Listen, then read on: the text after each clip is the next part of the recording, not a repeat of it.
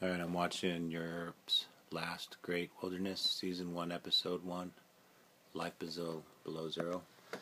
23 minutes, 18 seconds into the movie, with 28 minutes, 43 seconds left.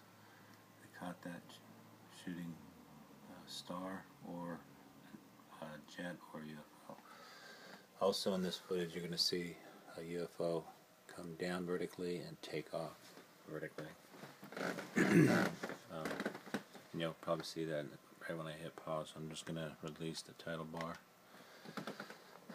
That's the shooting star UFO that I caught right there. It comes flying by in the bottom of the screen this way, and it's moving so fast. At the same time, you'll see one come down and then one take off in the aurora boreas.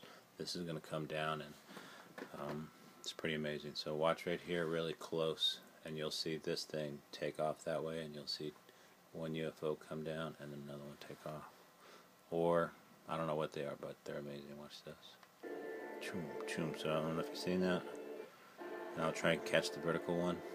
Actually, one comes out right here too. Watch this. Just came out. Don't know if you saw that. One more time. So first one comes out right here. It's really fast one. Here we go. So the first one's going to come out right here. If you watch as the storm moves this way, what I call a storm is there's the the aurora boreas moving this way. Watch UFO shoot out this way is the first one. Right there. Now, right here, one, two, three. Not sure if you've seen that. Look right here, here, and there when I rewind. I'll try and capture them. See that? They just passed by right there.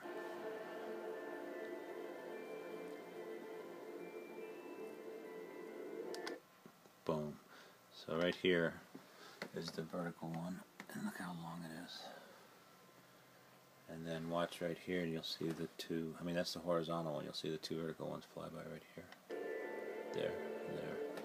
So let me try and catch one of the vertical ones.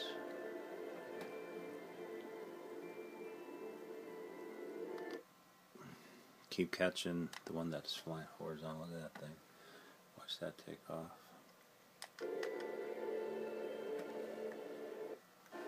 But I want to catch the ones that are going vertical.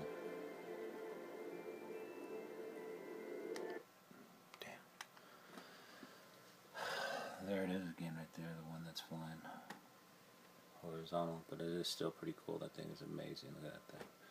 And it's pretty cool because look at the auroras. I'm going to try and catch the vertical one now. Ah, just missed it.